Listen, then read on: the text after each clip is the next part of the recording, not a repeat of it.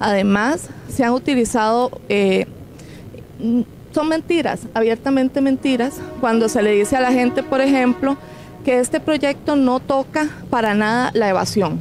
¿verdad? Y el impuesto al valor agregado, la gente tiene que tenerlo claro, es la herramienta más útil para trabajar en contra de la evasión, especialmente porque hace que ah, yo tenga un incentivo, si yo tengo una pulpería, tenga el incentivo de tener, comprarle a todos mis proveedores que estén pagando impuestos, para que después, cuando yo presente mi declaración de impuestos ante Hacienda, poder presentar un desglose y decir, vea, yo ya pagué todos estos, estos impuestos en mi cadena de valor, entonces esto ya rebájenmelo de mi declaración. Con eso hacemos que la formalidad sea la, eh, por excelencia, la forma para evadir impuestos, eh, para evitar la evasión de impuestos en Costa Rica. Esto es un impuesto además que se utiliza en la gran mayoría de países del mundo. El impuesto de ventas es un impuesto que ya prácticamente está en peligro de extinción. Además, hay medidas importantísimas en materia de renta, hay medidas para evitar que los capitales se vayan a paraísos fiscales, hay medidas para evitar que se finjan falsos endeudamientos y que las empresas digan porque se prestaron entre sociedades anónimas platas, lleguen a decirle a Hacienda, mira, aquí estamos en números rojos, este, hay una serie de medidas y también hay medidas para poner límites a excesos que han habido en el sector público, como es el tema de las cesantías que están por encima de los ocho años. El 20.580, en primer lugar, hay que dejar totalmente claro que tiene modificaciones en materia de salarios eh, y las remuneraciones que hace el Estado. Esto estaría aplicando en condiciones de personas que tienen nuevos contratos con el Estado, especialmente aquellas que tienen que ver con dedicación exclusiva, prohibición. Eh, pero se ha posicionado que no, que eso es, va a afectar inmediatamente a la clase trabajadora actualmente. Nosotros necesitamos regular y ordenar lo que está pasando en materia de salarios y de remuneraciones a cargo del, presupuesto nacional. Y especialmente pues nos ha llamado la atención un par de cosas que nos parecen que han sido realmente sensibles para los sindicatos, pero que no han querido posicionar públicamente.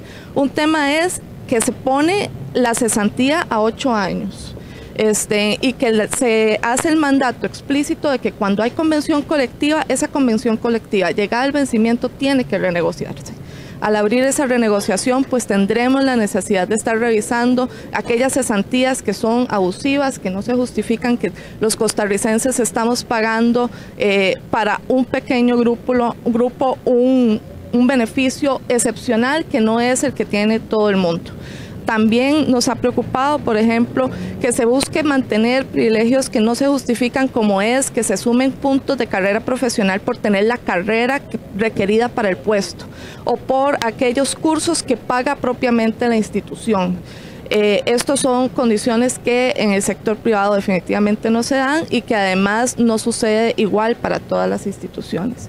Igualmente, eh, con el tema de anualidades, las anualidades actualmente que tiene cada quien se mantienen, pero entra un nuevo cálculo de las anualidades, donde además de bajar el porcentaje, se está ligando la anualidad al cumplimiento de objetivos de la institución y a cumplimiento de las evaluaciones de desempeño. Entonces aquí, ¿qué estamos defendiendo?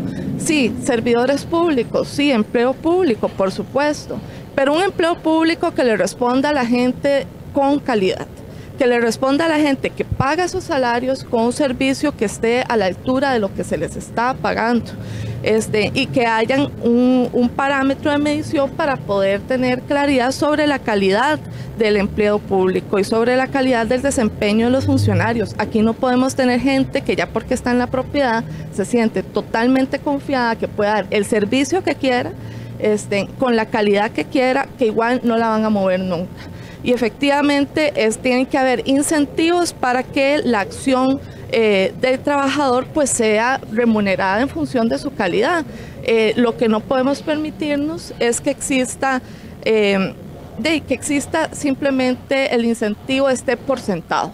¿Verdad? Que simplemente se recibe de forma automática, porque entonces la gente no se esfuerza para tener un objetivo conjunto como institución y para poder darle a las personas el mejor trabajo posible. Importante ahí destacar ¿Qué se está creando aquí? Incentivos, no desincentivos. Aquí no se está amenazando a nadie con un despido, no se está amenazando a nadie con una sanción eh, o demás. Lo que se está generando es, ok, usted quiere tener un reconocimiento anual en su salario, una remuneración mayor, demuestre con resultados cuál es el trabajo que usted está realizando que aclarar un par de cosas. Uno, el desenganche médico no se aprobó no porque no hubiese interés de revisar el régimen, sino porque estaba hecho solo para el sector privado y no para el sector público. El desenganche médico procede a hacerlo por, a través de un proyecto de ley que ya está presentado en corriente. De hecho, se presentaron dos proyectos en corriente. Este, número dos, yo no termino de entender entonces la lógica de los sindicatos. Por un lado es, es que el proyecto no es suficiente para recaudar. Este, pero entonces no hagan nada. No hagan nada hasta que nosotros digamos que, a ver, en esta Asamblea Legislativa hay proyectos en corriente, efectivamente presentados por la administración anterior, para crear el IVA, para meter renta mundial y renta global. Se aprobó la norma contra el fraude fiscal, se aprobó la norma contra el contrabando. Este, hay, está en régimen de exenciones en, en la Comisión de Hacendarios. Está una modificación al Código de Normas Tributarias hay una vasta agenda legislativa ahí todavía en corriente activa. Este, que está siendo atendida y sin embargo no ha habido por parte de los sindicatos una aprensión en atender y en apoyar y darle un impulso a esos proyectos. Entonces, ¿qué es lo que, lo que termino yo de interpretar? Bueno, que aquí el tema es no hagan nada, no hagan nada, depongan totalmente las acciones y que no hay una lectura responsable de las consecuencias que eso puede tener para el país. Mire, es cierto, a la gente le cuesta mucho la plata. Eso no quiere decir que a todo el mundo le cuesta lo mismo.